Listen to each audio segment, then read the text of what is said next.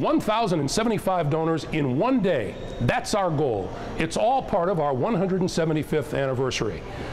Loras graduates, we can do this. I'm Greg Gumbel, class of 67. Join me in celebrating Duhawk Day.